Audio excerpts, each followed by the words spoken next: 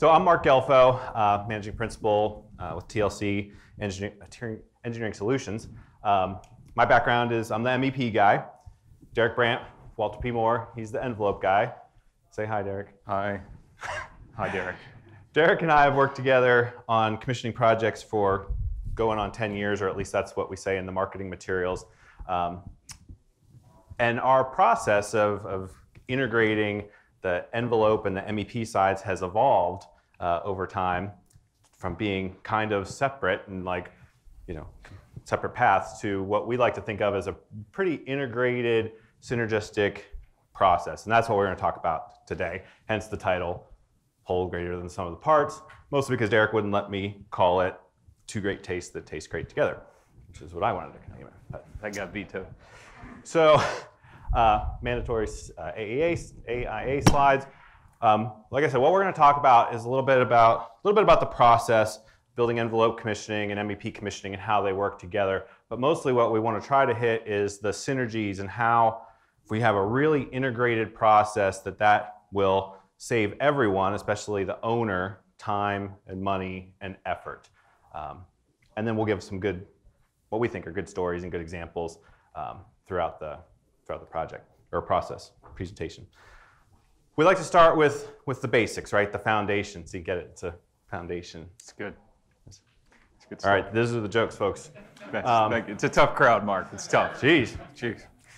Well, yeah, anyway, I was going to say, I didn't realize that that's why Darek put that slide in there because it was foundation until like yesterday. So um, I'm a little slow. So, well, let's start with how many people are actual commissioning providers? You do commissioning on a day-to-day right? Okay, shocker.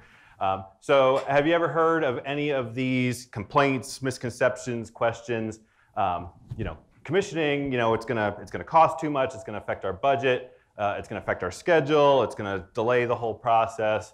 Um, why do I need to commission anything besides the mechanical systems? Is there electrical? Why do I need to commission the envelope at all? Or why do I even have to commission? Doesn't the, isn't the architect and the general contractor just gonna take care of, of all these things? Um, you know, why do any of this at all? Isn't the contractor just gonna, you know, fix it all? And, um, you know, wouldn't it just be, this is my favorite, wouldn't it just be cheaper just to fix problems when and if they come up at the end, right? That makes sense. Anybody hear anything like that? Well, the, those are the things we all hear all the time, obviously, in this crowd. I usually, are there any architects in the audience? Good, because I'm going to talk bad about Permission architects to speak freely. throughout. This is this kind of slide is more for the architects when we present to, to them. But uh, anyway, oh, this is being recorded too. So our premise is that rather than treat each of the disciplines that are going to be commissioned in their individual silos, that if we're going to have true whole building commissioning, then we need to take a whole building commissioning approach, and that includes and starts with the team and how we integrate the team and the and the process. So, one team, one building, one owner. Right, and so that brings us to the building enclosure. And you know, today's building enclosure is more complicated than ever. Than that, as we know, it's that the, the building materials themselves are more complicated and more complex and multi-layer construction. There's many trades involved now. It's not a single trade. There's to, to couple that, make that worse, the, the walls are thinner, right? Gone are the days of mass walls to where, yeah, it really doesn't need to be air and water tight. The whole thing's so thick that it doesn't really matter. Not much will get through anyway. Uh, gone are those days. But with that, we have higher performance requirements, right? It's now into the building code. You have to do X and X thing with your building enclosure with regard to air and water and thermal uh, requirements. But then making that worse, there also gone are the days where we have where we have skilled craftsmen eh, with apprentices and then generations and generations of masons have been doing masonry and fenestration and glazing for years and years. A lot of times these guys are on on site doing the best they can with the experience they have, but in fact the matter is it's relatively limited. The majority of their training's been on the job. But that doesn't stop us as an industry from having higher expectations and wanting better projects in less time and in less money, which you know we should expect more of ourselves, but it just makes it difficult from a building enclosure perspective. And on the MEP side, it's the same thing. These bu buildings are not getting less complex, right? These are highly technical, highly complex technical buildings that we are trying to make to be high performing buildings, or at least prove that they are high performing buildings. Lots of different systems trying to work together integrated systems testing is you know something that you all uh, deal with all the time, and, and like Darek said, um, you know the the, the technicians. There, there's fewer and fewer young technicians coming in in the control side and being able to test these things, um, but the expectations you know continue to be higher on the more complex systems and can you get it done faster and you know cheaper. So so our again our premise is that the you call traditional approach or the way we we've seen it done a lot is that the envelope's doing their thing over here and the MEP is doing their thing over there, which is mostly mechanical, but you know with a little E and P maybe in there, and that we believe that if we integrate that approach, it's this you know the uh, commissioning processes are the same, the goals are the same, it's the same team, it's the same owner. The schedules might be a little different, and we'll talk about that a little bit uh, as we move forward. But one team, one owner, same objectives. Why wouldn't we have an integrated team approach, right? And again, that starts with starts with the team. I've, I've actually had several conversations with people just even since the conference started uh, yesterday about the different systems being commissioned and the expertise that is needed in, you know, to, to be able to do that. You can't, the days where the mechanical guy goes, mechanical commissioning guy goes in and does, you know, the, the, all the mechanical and okay, I'll test some lighting controls too while I'm there. That, that's not the way we see it anymore. We're testing, for testing all these different systems, we need people with that expertise to be able to, to be part of the team. One you know, usually still still one team. So you know, one project manager, one lead commissioning provider, lead commissioning authority, with you know the smartest people wearing the smartest hats in all these different systems, including and especially the envelope side, right, and the right. test and testing as well. Right. You may have a single point of contact building enclosure commissioning provider, but within there, behind the scenes, he's using his team of experts, sub sub experts in the in the various components of building enclosure. Not unlike a design team. Derek mentioned briefly before about code requirements and where, you know, where the requirements are coming from are continuing to include both more MEP systems and the envelope system. So you're all aware that for a while now the IECC has required commissioning by code or at least a certain level of commissioning. Um, certainly it's not a best practices commissioning, but, it, but it's something for mechanical systems and water heating and, and for lighting controls. Um, but did you know yeah, and we touched on it a minute ago on the first slide on the building enclosure. It's now in the building code, and, and air barriers have made their way into the building code in the IECC. Uh, with regard to you either have to have your materials tested for air permeance resistance or assemblies or your building, and they kind of move the decimal point once to, once to the right on every one of those. But it's usually an, an either or uh, type of situation, you either have to have your material tested or your assembly tested moving to the center or your whole building tested. It's very rare when you wouldn't have your assembly or material tested right, in advance of, of putting these products on your, on your building. Nobody's usually mixing these in their garage, uh, but those are required. So, and then you move to fenestration, same deal. IECC requires, uh, has certain requirements for air leakage through fenestration. You can see these components in fenestration are all different. They have all different requirements for air leakage, and there's the test procedures on the side. But the point of these slides is to note that it is included in the building code these days. I'm, I have conversations all the time where owners or architects or even architects are surprised that these are these are mandatory requirements out of the IECC. Means you have to do these on every project. They're surprised enough that they have to have commissioning of the mechanical systems, but you know, when we get into these, these are mandatory requirements of the code. So the code is, is moving towards more towards whole building commissioning, slow, slower than we might like, but we're moving in that direction. Just the way LEED is, you know, moving in that same direction. And LEED, ver LEED version four was the first uh, uh, dabblance in requiring some envelope pieces to be commissioned. As you know, the prerequisite doesn't include actual testing, but you know, at least a drawing review and inclusion of the requirements in the BOD and the OPR. And then, of course, you've got options for enhanced commissioning to commission the envelope, which I always push for. Well, we push for on all, all projects, but um, it's about time. But things are moving that direction for an integrated approach. Um, and of course, everybody's involved. You, you, guys know this. Get, we get the question all the time. Like, I don't, I don't have a role. I don't have to be at that meeting, do I? Because I'm not involved with commissioning. Yes, for the love of Mike, you do have to go everybody's involved, everybody has a role in the project, from the design team and the architects and the engineers, the contractors and all the subs and the vendors, certainly the facilities people, everybody's involved. Everybody needs to be at the table. I'm preaching to the choir here a little bit. So that's the foundation. Let's talk a little bit about the commissioning process, which you are all intimately familiar with, but you know, the commission process is the process, no matter what you're trying to commission, right? So it's just trying to show that building envelope commissioning process and the MEP commissioning process, it's the same process. So we should integrate that process together from the very beginning phases. And we're going to talk about, we're going to talk a little bit about each of these phases and what happens in each one. Now, timelines are a little different, right? On the MEP side, you know, we, we're, we're all doing our, just we all start together, we're doing our drawing reviews together, doing the, the doing the design phase stuff together.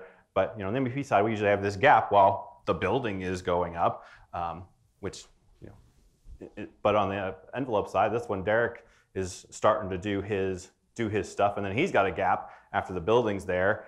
You know, everybody's waiting for the closeout. So if we can integrate that process and help each other out, we end up with something that you know really covers those gaps a little bit better, so that we're we're working as a team from the start of the project to the end of the project. When I say these things, it sounds like so obvious and common sense that I'm like, why are they even here listening to us talk about this? But I think it's it's rare that we see these processes integrated like this. Right, so here we are trucking along the process and now we're into the pre-design and design phase. And this is really where we, we like to have the, the conversations both from mechanical and, and enclosure, but sit at those, sit at those meetings and, and really set ourselves up for success with the OPR workshop and evaluate the BOD, ask the probing questions that they may not know enough to ask the question or, or know that they have a preference on these things until we bring them up to them. So for example, you, you, want to start with where the project is being built, what type of project it is. Do you have anything that things that are working against you right off the bat from an envelope perspective, from a mechanical perspective, or from a tying together? This one is kind of a, a photograph that represents a, a, project we had right there on the St. Johns River in Jacksonville, and then, immediately we, we jumped into the discussion of waterproofing and below below grade uh, concerns for parking garage and occupied spaces there. So just kind of getting that information out. Worst case scenario, we would, don't want an owner left with a building and say, this isn't what I wanted at the end. If they're, if they're savvy enough to, to want the, the commissioning process, we want them to know we want them to know all the questions they didn't maybe even know enough to ask up front. Uh, another thing that kind of ties us together here, do we have any artificial moisture uh, concerns on the inside of the building? You know, obviously in Florida, we're gonna have a lot of moisture outside of the building. Do we also have some on the inside that we need to manage and take care of, both from an enclosure and a mechanical perspective? Uh, defining performance is something really important as, long, as, as, well as defining uh, maintenance intervals and amount of maintenance on a building. You, you know, a picture of a mock-up, well, it's too early to talk about mock-ups in the OPR. Not really. We want to make sure that the owner has this in mind. We want to make sure the builder has this in mind, the designer has this in mind, that we can all march forward together and include this in the, uh, the design and the budget and the schedule so that we get usable mock-ups that we can actually test later, and we'll, we'll touch on those later. Um, further on the discussion of defining the performance, okay, it's, it's great when, when you define a, uh, uh, window performance to a PSF test, right? But what does an owner want to know? That at X, X uh, miles per hour storm event, is their building going to perform? And will they know what that number is so that if a storm comes through and they have water in their building, will they know, well, that was more than I, more than I decided to make this building resist? Or were they, where they asked those questions up front and they knew exactly what their building was, was designed and built to, uh, to resist. And we kind of skip over the, the importance of the OPR, right? I'm sure that many of you, I'm sure you all get a very thorough, well thought out OPR handed to you as you start your commissioning projects, right? Yeah. Okay, well, good. Then every problem. We skipped over the part where that doesn't happen, so we like to have an OPR workshop. And um, it's one of the things as we've gone through our processes separately, you know, to Darek, that's even more important than it is to us on the MEP side. The, I love the example of the, uh, the mock-ups, but uh, the project we're, we're working on right now had this issue with the windows where well, you can tell the story, Darek. Right. Story. Yeah. I mean, Sorry. they just they just didn't really know what what level again what what level of performance they were getting. Right. They they saw the specification. Architect wrote it up, and it was specified for a certain PSF or a certain positive design pressure to meet building code minimums. But building code minimum uh, positive design pressure equated to a certain laboratory test for water intrusion, then that's when you, you reduce that again, that's what you get in the field. Well, is that what the owner wanted? Turns out they wanted more than that, right? So we had to kind of go back late in design to get them more than that, which was more than building code w- required. Uh, but they did in fact want more, and in fact they, they did get more. And certainly just a plug for envelope commissioning process. If it wasn't for Darek on that project, the windows would have been submitted for what they were at whatever it was, 40 miles per hour. And nobody would have said boo about the fact that Until they it was later. specified for more and the owner wanted more until, you know, it would have been a problem after the fact. But really, as we march on through design and we, we start working, we work with the designer. We're, we've moved away from the owner a little bit. We're working with the designer and the architecture team. We're, we're looking out for the four control layers. We're, we're trying to control water, movement of air, bulk water, air, vapor, and thermal concerns for the building. Those are the four control layers that we are most concerned with when we are working with the architect from a design. Uh, I hesitate to say development, but uh, we're, we're working with them from an owner's perspective to improve their design for those four control layers. Working with working with Darek, I learned that that's just that's everything he cares about: water, air, vapor, thermal. It's just simple repeats guy. it over and over and over again. So on the MEP on the MEP side, from the design phase, we can write the design review, you know, comments probably before we get a set of drawings, and a lot of it is related to sequence of operation. And on the mechanical side, you know, usually there is a sequence of operation. Sometimes it's boilerplate, you know, or not edited, which but there's something there. But I'm a big proponent of if a, any system has to do more than like two things in a row, then we should write a sequence of operations, and we don't see them on the other disciplines. Plumbing, for example, I mean, I'm, I'm an electrical guy, so the biggest problem we have on, on generator testing is almost always the fuel system that nobody's really thought through the sequence of operations of what's supposed to happen with main tanks and supply pumps and return pumps and all through that. And it- you know just having that is a, a very important. Same thing with lighting controls you know which seems straightforward. My daughter likes to tease me that you know so all you do is turn the lights on and off. It's a little more complicated than that but Not yeah, really. but yes. So and she's 21 by the way so it's not like she's anyway. Um, but just lighting controls nobody ever writes a sequence of operations for lighting controls if we've got daylight sensors and occupancy sensors in the same room which is controlling which is governing what foot candle levels do we want them to turn on and off on. Um, and then emergency power systems testing. I i always want to see a upon loss of utility power the following shall happen. And we hardly ever get that. Uh, transfer switch time delay programming. I show up for, you know, to witness some testing, and they're all asking me what the time delays should be, and so I tell them. No, not really. not really. Um, and so then back to the synergies of, of us working together in one process. Uh, again, something that's pretty straightforward. Design review comments. We keep a common log of all of the system, MEP and building envelope commissioning uh, design review comments so that it's tracked in one platform so that the owner doesn't have to get one set of comments from Darek and one set of comments from me or heaven forbid multiple sets of comments. And who's ever at the top of that org chart, you know, who's ever the lead commissioning provider is the one for responsible for making sure that all gets collected to make it easier for, uh, for the owner. It's pretty straightforward stuff. We use CxAlloy. Um, but you know, whatever platform you use, as long as it's one process, one platform. And specifications. Again, stuff that should be no-brainers, but we, we when we started, and we still see it on other projects uh, today, where there's might be two or three even front-end specification sections on the commissioning process or the testing process that may or may not say the same thing, usually not, or they con- contradict each other, which just just drives me insane when things you know, don't mesh the way they're supposed to and don't reflect what the actual project is trying to accomplish because nobody read it and they just took the last specs from the last job. So, you know, we're big proponents of one common front end section that addresses the scope and the testing requirements of, you know, each of the disciplines. Now, that's not to say that we don't also still need the, the Division 23, 26, 22, 23, 26 sections and 4, 3, 4, and Seven, whatever, eight, yeah, nine. whatever the Yeah. whatever the envelope stuff Those is. numbers.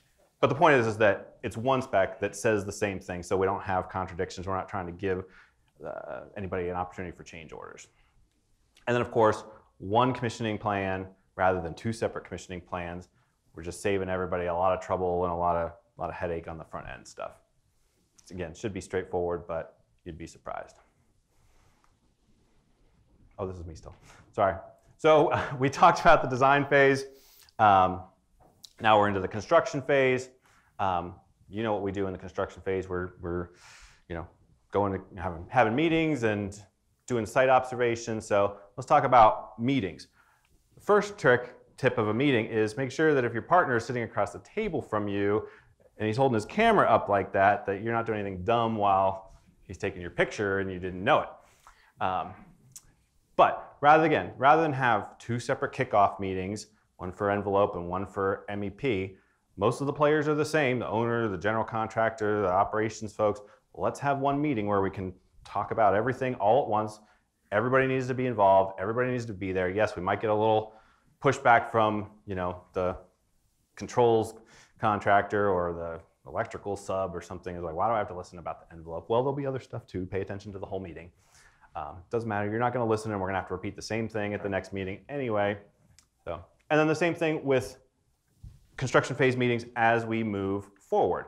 Now, admittedly, meetings earlier in the process are going to be more envelope focused, uh, or maybe entirely about the envelope. And then later in the process, they're going to be more about the mechanical systems or the electrical systems or whatever. But we're actually there to represent the whole team so that we can help cover each other and cover each other's issues. Not that we have to be experts in every discipline, but that we can, you know, talk intelligently and bring questions, bring questions back.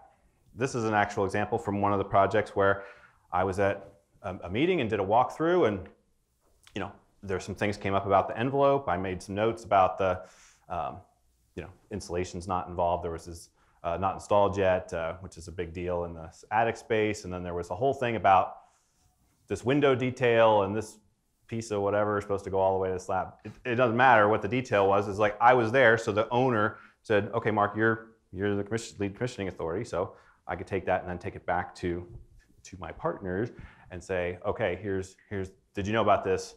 We need to address it, rather than they have to wait another two weeks or four weeks to bring that up with the right people there. It's one process, one team. Same thing with uh, as design review comments, construction issues logs, one log that we're maintaining together. The issues are tracked, you know, are tagged with what discipline they are anyway, so the owner doesn't have to keep up with multiple punch lists. Right, so now we're into construction and we're looking at uh, doing site observations. One of the first things we're going to do is look at the performance mock-ups. We talked about that earlier in the OPR. Hopefully we got involved in that stage we had that discussion. It was in the design and, and in the budget and in the schedule and we are, are able to go out there and look on those. You know, bottom left one is a, is a good example of how we like to have a mock-up look minus any type of cladding, which is really kind of a secondary barrier for any of the four control layers I mentioned earlier.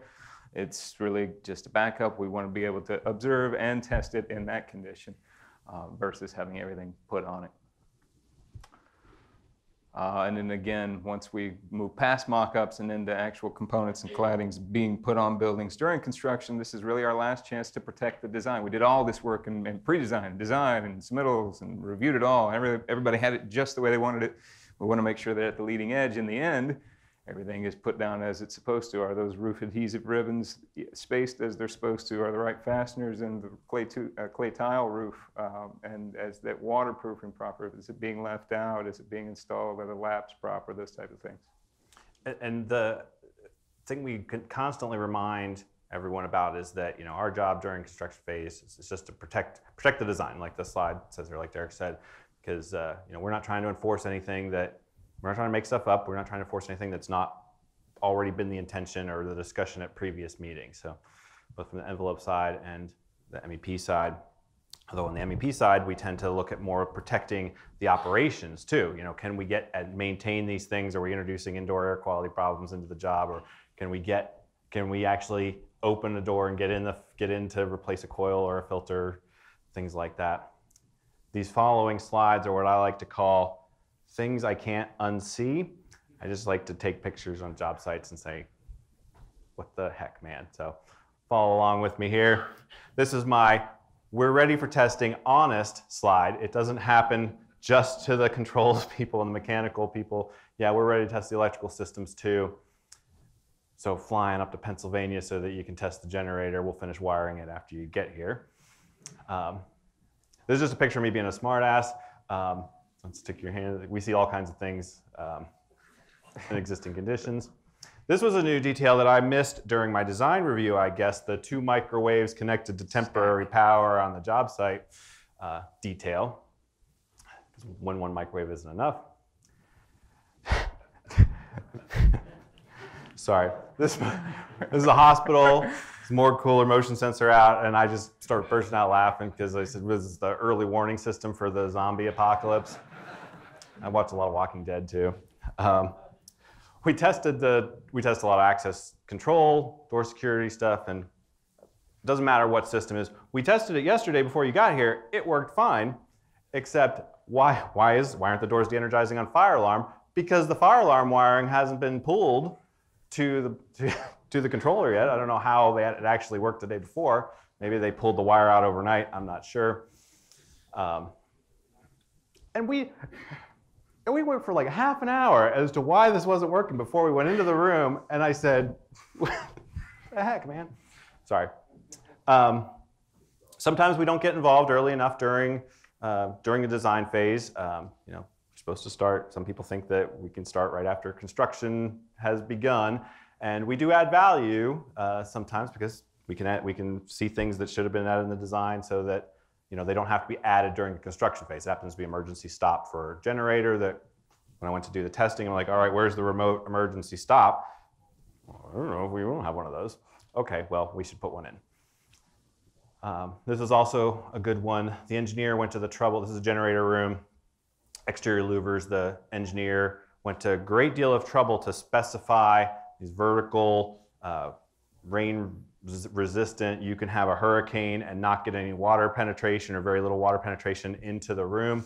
But nobody thought through, um, including us, you know, how the two, how the louvers, you know, come together. There was no detail, so there was just this big gap in between them. They ended up fixing it, but um, I know that if the project hadn't been commissioned, that it would have been the first rainstorm that would have said, "Hey, why is there water all in this generator room?" So anyway. Right, so here we are continuing on. We're now into acceptance, sigh of relief. We've made it to this point, but here's the part where we prove it, right? We've done all this work, it's all been installed, and now we prove it. Shouldn't be a lot of failures here, but this is really kind of the, the performance testing uh, portion of the, of the project, right? And so I'll just run through some of the tests we, with, that we commonly oversee from a commissioning perspective from the building enclosure. We touched on this one earlier. Remember back in air barriers, you either have to test the materials or the assembly or the whole building, right? This is the test of the whole building. It's not a common test in the private sector to do. It is required in military projects, right? So you see it on those. Uh, but that's a test we commonly oversee and help help set that testing criteria, right? The, our U.S. Army Corps has their criteria, but what do we use in the private sector? It's something we talk about during the OPR phase. It's great to tell someone that you either passed or failed that test, but if it's a fail, they're going to want to know where they leaked so they can go back and fix it. So this is how we locate some of the leaks uh, by use of, there's several ways we'll, we'll see here. This, is, this one uh, here that we're showing is the tracer smoke option, and you can visually see where the smoke is moving to or being blown away from, depending if you're pressurizing or depressurizing. Mark's going to play a riveting video here of some uh, air leakage by detection fluid, which if you've ever uh, looked for a leak in your uh, automobile or bicycle tire, if you've ever had a bicycle, I'm sure that it has had a flat tire. Same deal here. Uh, put some fluid on there, create a suction, look for the bubbles. Doesn't look like that would immediately have been a location that would have leaked, uh, but you can uh, prove it quantitatively with that test. Same Bu- test method. The bubbles are bad. Yeah, That's what I was bubbles, told. Bad. Movement of smoke, bad. Okay, sorry. Uh, staying on air barriers for a minute, right? We want to make sure that those are adhered to the surfaces of which they were originally installed. Does no good to apply those, put your brick veneer on, and then they all peel down and fall down in the bottom. We want to make sure that those adhered, and are test methods we can oversee and specify criteria for those as well. Uh, let's move into, into water uh, control, right? There are various tests that can be done and specified for water intrusion. This is the simple uh, spray nozzle test, pressure between 30 and 35. Uh, the spray nozzle about a foot away from the specimen, test one minute per foot. Uh, so there's that one in action. Looks like a pretty successful test. Don't know why people have to hire you for that. They just need a garden hose and Yeah, I mean, You know, it's really it's right? just- yeah, they These are the kinds of things people Lowe's, say to one, us, One like- trip to Lowe's and you got your testing covered. So, but that test is uh, really something that you can use not only for fenestration, windows, glazing, skylights, and things, but you can also use that for for various facade uh, interactions. Corners are a popular place when two facades meet. Uh, that they may not have that detailing proper. This one we picked out as a, as a possible uh, leakage location. Lo and behold, it did, and we had to peel off that cladding there on the left and fix that upwater lap that they had behind there that was leading to some leakage, but we got it fixed, so we provided some value there. Yay. Uh, here's another one, uh, water intrusion. Water intrusion testing by the chamber test, right? You put a chamber on the inside, spray some water on the outside, replicates a storm event, and uh, it's a, that is a, a very common, commonly used test in, in, uh, in the acceptance phase of enclosure commissioning projects. Uh, another one that is commonly used if you have some limitations, either interior access or time restraints, and you have relatively low construction. This one has some limitations as far as how high it can be used, but this is a good one in that it, you don't have to build a pressure chamber on this one. Air and water on the outside. If that looks suspiciously like a, uh, an engine and a fan off the back of a fan boat, it's because it is. Uh, but AAMA puts forward some standards to where you can uh, you can dial in the RPM of that uh, of that engine and the fan fan propeller speed to a miles per hour storm event and test via that method. I just have to pause for a moment and say uh, I'm still amazed that owners don't want to do this level of testing, you know, during a lot of them, you know, during the design and during the, the actual construction. But you know, the first hurricane that comes through through Florida, which we have some, you know, that that happens, and they get water in the building, or maybe not a hurricane because that's pretty obvious where it came through, but it's just you know they start getting water in the building. And who do they call? They call me because you know it's water in the building. They assumed it's you know condensation. So All right, so we have a little video of this one, I believe, that shows this one in action. That that photograph's not very exciting, but this video is a little bit better. Apologies for the relatively low resolution, but it gives you a feel for kind of the speed and the amount of water and, and how that test all looks. Uh, but again, it's, uh, it's a good test for if you have some, uh, some time restraints. You can get in and do a lot more tests in a day than you can with the chamber tests. Uh, electronic leak detection on roofs as well. You know that common specifications call for a flood testing of the roofs. I'm not usually a big fan of installing a roof and then let's flood it to see if it works okay. I'd rather I'd rather not not inundate it with a lot of water. Although even the electronic leak detection low voltage requires wetting of the surface. I like to try to recommend the uh, high voltage electronic leak detection. Not all roofing systems and manufacturers are up to speed there and have uh, product approvals with the conductive layer in place that you need over top of the insulation to com- complete the circuit. If it's direct over concrete, that's fine, but we have so much insulation in, uh, in roofs these days that typically it's not direct over concrete. But the industry is catching up and we're getting there, and I think that that one on the right will be kind of the preferred test method for roofs as part of uh, QA. I'm even less of a fan of flooding the roof with water and then pro- applying electricity to it. But Darek says that's a Well, good thing. that, So that, that guy looks safe, doesn't he? so some uh, some tests you can do for a roof to per- confirm uplift uh, resistance. We like to do that in Florida, hence the, because of the uh, the hurricanes and high weather, high wind events that we get here. There are two different ways to do that. There's the the uh, chamber in which uh, there's a little blower motor. I don't know if you can see on the top or not. Creates a suction. You can dial that in, step it up slowly until you meet the uh, hit the required uplift resistance, or you can just stick a piece of plywood to the roof, put a, uh, put a pressure uh, a, uh, a gauge in, the, in, in line with it to determine how hard you're pulling it and measure for resistance in that, in that manner. And then after you, uh, hopefully you don't have a lot of failures, but if you do, you do want to cut it open and kind of figure out what's going on. Uh, this was one was supposed to be a torch down uh, system. As you can see, not much torching went on there. Those fasteners are quite clean on top, and that that uh, the bottom of that those plies are nice and shiny. Just plain never got hot enough, and that was a systematic failure all across the roof. So it didn't help that you guys were pulling on it. yeah, we shouldn't have cut it open and pulled it. That was a problem.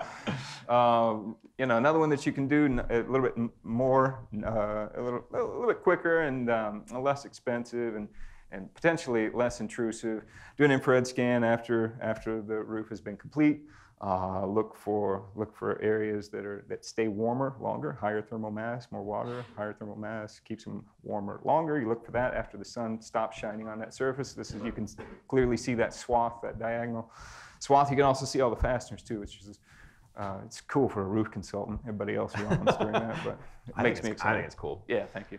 Plus, um, you know, Darek's a real team player. Talking about the, the synergies again. You know, he said, "Hey, while our guys are out there with the thermal imaging gun, you know, do you want them to, you know, take a shot of some of the panels and see, you know, just see what we're seeing for, um, you know, on the lugs of the panels." Like, yeah, that'd be that'd be fantastic. So, the this I didn't want Darek to be the only one with with uh, videos, so you know, I threw one in too. This happens to be um, a pressure test of just some piping in a pre-manufactured or pre-assembled uh, head walls and wet walls that happening at a hospital, and we happened to be there with the architect, and she said, "Hey, can we see?" They were explaining how they do the testing, and she said, "Hey, can we see the test?" And I'm like, "Yeah, sure." So they took one of the sections over and and hooked it up to you know to uh, uh, pressure uh, ho- nozzle nozzle um, hose, um, connected the other side, pressurized it. Guy got down, put some soapy water on the joints, okay. And she said, is that it? And I'm like, yeah, what did you expect? The pipe to blow up or something? And I made me think that, hey, well, a lot of what we do, this testing, is boring. It's supposed to be, right? If something fails dynamically, that's bad. So I say successful tests are boring, which is just the way we like them. Oh, the video stopped. You get the idea. So that's the last of the videos. So we've done gone through um, design phase and construction phase and acceptance testing, uh, making sure that everything's just working the way it's supposed to.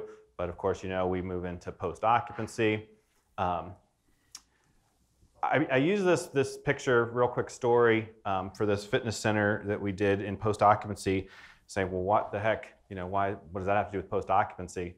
Well, sometimes even the finishes can affect you know, affect the, the design and, or, and the commissioning process because um, this was a fitness center, lighting was designed, you know, for certain foot candles based on a white floor and, oh, you can't see it, a white ceiling, but they painted the, the ceiling black because the white would have shown too much dirt and then put this really dark floor in there and it changed all of the, um, the reflectances, made the space seem a lot darker. Um, and so we got the call, you know, after the fact. I don't know why they called us because the lighting controls worked just fine. It's- Anyway, so um, same as a commissioning plan, one commissioning report that includes all of the disciplines rather than a, a report for the envelope and a report for the MEP systems. That's pretty straightforward. Fun stuff that we really wanted to talk about is some some lessons learned. We're actually on time. Uh, you know, things that we've seen, and a lot of it has to do with what I call leaky buildings suck. Okay, yeah, see, that's that's a joke, folks. They're still awake. So we got this coveted 3:30 in the afternoon. I just had my cookies and ready for the reception slot. Um, so typical building cross section, you know, air handler or air handlers on the roof or in the attic space or wherever. You're bringing in some outside air. You're mixing it with some return air, supplying air to the space. You got a little exhaust. Yay, everything's great. And we're hoping for the building to be neutral or a little bit positive, right? Because we want we don't want infiltration is our is our enemy. But they didn't decide to do building envelope commissioning or testing. And I say all the time to anybody that will listen is we can design or commission the most efficient HVAC systems in the world, but if we're not addressing the envelope, if we're not testing the envelope, if we're not commissioning the envelope, what good does it do? Because we start getting, you know, some leakage or some infiltration. And with that instant filtration, you know, here in our nice hot, humid Florida climates, it brings water. The water condenses. They start getting mold. Who do they call? They call me. And I like, "Don't- we didn't make the water. The water came from the outside. So we're always constantly having to fight these types of things. Um, but if you're doing an integrated test and Darek's doing his thing and making sure that we, we you know, doing those tests, you know, beforehand, then we're not going to have, hopefully, those water intrusion problems. Um, we seem to see this a lot, or not as much anymore, but used to see it a lot in kitchen hoods. Kitchen hoods used to scare the crap out of me because we kept getting calls all the time for you know these problems. But you know today's short circuit type hood where you know we've got the supply makeup air that's going back up through the exhaust um, is the right way to do it. So in this in this example, you know you've got to makeup air. You got your exhaust from the kitchen hood you got your makeup air, maybe you're drawing a little bit of air from the adjacent space. That's all well and good, right? That's the way it's supposed to work. So when we get to, to the to testing it, we try to make sure that we have addressed all of the ways that makeup air unit could possibly fail so that it doesn't. Because obviously, if we take out that makeup air unit and we're just exhausting, that, that additional 7,000 CFM is going to come from somewhere, and most of it's going to come from outside. Again, hits the cold surfaces, condenses. They call me, blame me uh, for it. Quick story. Several years ago, we had a facility like this, and one of my partners, Matt Coble, got called out. Um, a couple of phone calls. Hey, we're having moisture problems in the kitchen. He's looking at the design. The design looks right. This is a project that, that wasn't commissioned back then, but they called us just to help out. And he goes out there to see what's going on. There was a, a they didn't have a short circuit hood. The supply air from the, the makeup air was just coming and just dumping down right onto the to the guy that was working in the kitchen. And you know, he's just sweating profusely because it's hot, humid air. It's 95 degrees outside. So they had installed a nice little switch for him to turn off the makeup air, turn off the makeup air unit. Mac asked, "What's that switch do?" Oh, it turns off this this hot air coming in here. It's like you you can't do that. you can't do that. So we've seen lots of strange things like that. It's hard to test for the switch added portion. Right. So uh, we don't have a, a a good story like that for this one. But this is another one that ties in enclosure and uh, and MEP, right? So louvers are louvers are kind of given the pass. I mean, we give windows and storefront and curtain wall. I mean, we give it the, the fifth degree, right? But we just give louvers a pass. So they're they're allowed to leak. They're allowed to have air pass through them. They're allowed to have water pass through them. Okay, but what about the what about the systems behind that? Is that is that a, a semi-interior space? Did we did we include air barrier on the walls of that? Are we controlling the passage of, of moisture through those? So just wanted to bring that in as one that oftentimes is missed and uh, is, is often included in, in, in projects. Oh yeah, yeah that's, that's snow. That's yeah, so we got a little, a little bit of snow on the, on the It wasn't, this wasn't in Florida though. Right. for, for in the spring when it melts, that's a, that's a fair point. So another one, Mark touched on it, you know, uh, restaurants are a common one for a lot of exhaust in, in, uh, inside the buildings, and we need to make sure that we're not creating a negative pressure and bringing in outside moisture. Schools are another one. We'll touch on that in a minute. Uh, but hotels and hospitality, a big one, right? They have the they have the fans in the bathroom. They're on all the time, right? And are they creating negative negative pressure? Is the, are the systems in the hallway able to pressurize the rooms underneath the door? Is anybody putting anything underneath the door to block the passage of that air? Or even without that, was it enough to pressurize those spaces to begin with? These are sealed units for the HVAC. And so then you become increasingly reliant on the building enclosure. This is one that we had uh, where it was just perpetual um, moisture intrusion into this into this into these spaces. We found out that the rooms were were excessively negative and just the solution was just keep replacing the gypsum and keep renting the rooms, knowing that the mold is growing in the, in, the, in the wall cavities and destroying the studs, but just keep replacing it and keep renting out the rooms. It's fine. So we, we, were help, we were able to help out with some of those issues, and that was another joint project. But here's another one with schools, right? You know, we talk about, you know, Mark talks about, oh, well, there's a little puddle of water on the floor. Oh, there's some condensation. Not too scary, right? But when you have things from building enclosure. Maybe the, uh, the enclosure wasn't commissioned, and then you end up with vapor drive up through the slab. Maybe you needed the blindside waterproofing. You know, most projects now are, are required to have a, a, a, vapor barrier under the slab, but, but was it inspected? Was it, was it vetted? Was it complete? Will you have vapor drive later if you had a relatively high groundwater? Going back to the Jacksonville slide, right? Was that the, the river slide? Do you have a high groundwater? Have you picked up on those things? This is not a cheap fix for this auditorium for this school that likely does not have this in their fiscal budget. Yeah, the, the, the lesson that I guess we're trying to make here is that the water comes from the outside, right? So uh, we're trying to prevent it from coming outside, and the vapor drive is one that gets off gets overlooked a lot, right? Outside includes under the ground. And here's another one, not necessarily any tie into MEP here, but just to kind of drive home the point of uh, of some of the things that can happen on building enclosure issues and failures and, and non-diligence, we'll call it. This is uh, looking, you're looking upwards at, at, at, a, uh, at a pedestrian bridge at a baseball stadium, right? And this was a stucco soffit. And over top of this, uh, the pedestrian walkway, they had a traffic coating. And then they had some EIFS bands, some, some decorative foam bands across the top. That floor meets those bands and there's a gap and wasn't detailed properly. To make matters worse, it rains every day in Florida, especially during the summer. And they pressure wash that surface after, before and after every event. So they were flooding this with water for years and years and years and years and years. During a renovation of this stadium, the entire section fell down to the ground. There wasn't anybody underneath it at the time, but there could have been. It could have just as easily been on a game day. It could have killed, killed or injured several people. So you don't often think of a building enclosure issue or failure as somebody's going to die, but uh, in this case, they. They but they could. yeah, they, they could. So make sure you commission the envelope. Thank you, Mark. You got it. You're paying attention. So anyway, this, that was uh, that was our spiel, and you know, in summary, it's it's if you're going to do me mechanical commissioning, go ahead and do enclosure. It is required now in, in LEED v4, uh, and and uh, several you know the versions moving forward will likely likely improve the way it's referenced and the standards of which they reference. But um, it, it can truly be a synergistic process. It doesn't have to be separate. Of course, owner wants it to be wants it to be synergistic and together. It just oftentimes isn't.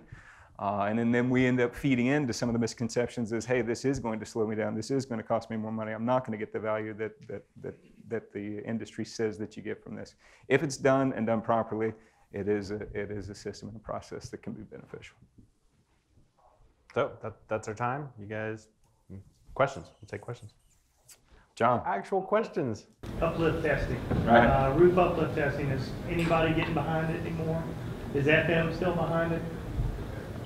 Yes, so roof uplift testing. We were just at, I don't know if you were at, uh, at RCI, another convention here, and uh, so uh, Richard Cannon, who does the, make the uplift chambers, uh, got on uh, on this topic, and, and yes, it's still it's still in favor, but oftentimes, John, a lot of the, uh, the, the pressures of which you test to are hard to even determine, right? So it's it's it's a bit ambiguous. Personally, I think it's a good test to do. I think you would probably maybe agree but it's just as an industry, and this was this was uh, Richard Cannon's take is as an industry, we need to do a better job getting together on if it's required, how do we require it? How do, how do we test it? How do we confirm that one, the design pressures are being determined properly because they've made that they've made that difficult, right? And if we can clean that up, then can we make it, it convenient and easily uh, intuitive to figure out what the design pressures are so that you know that you've tested properly. So short, short uh, answer to this question on where do I stand on uplift testing, I like it, as does John, but we do need to do a better job of getting together on how we implement it. Yes, sir. Yeah. Our experience is that they'll buy or, or pay for the MEP testing. They don't want to pay for the building enclosure testing. It's expensive. What, what, what can we use to sell the fact that we really need to do the enclosure testing. Yeah, so that we, we get that. Well, Darek hears that all the yeah, time. I, mean, I hear it too. The, the, the thing that works in our favor there is it's not a one size fits all approach on, on how much testing you have to do, right? So any enclosure consultant or testing firm is, is sensitive to, to schedule and budget, right? And so that's part of the process and should be handled in a commissioning process up front during the OPR stage is okay, one, what type of performance are you after? But two, how far down the line do you want to go to confirm that performance? And does this fit into your budget? And set those standards at the time that, that even maybe before they're getting GMPs from a contractor so they can build that into their schedule. Dropping it on them as a surprise later in the project, uh, that's likely not going to work when all contingency is gone at that point anyway. So to try to answer your question on how, why don't we do more enclosure testing and, and, and, and it's too expensive, my take is some can be done on all projects. You're not going to test all to the nth degree like you would a, a large scale project, say for a hospital or a critical use building, right? But some testing can be done for all. And that's the job of the enclosure consultant or commissioning agent to talk with that owner and get them the best bang for their buck.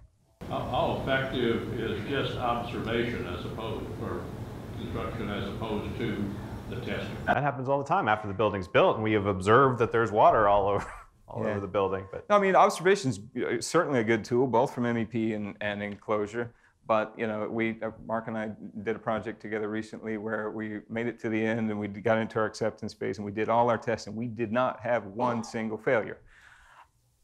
I would love to stand here and tell you that that's common. that we get to the end and during acceptance phase we don't have any we don't have any failures.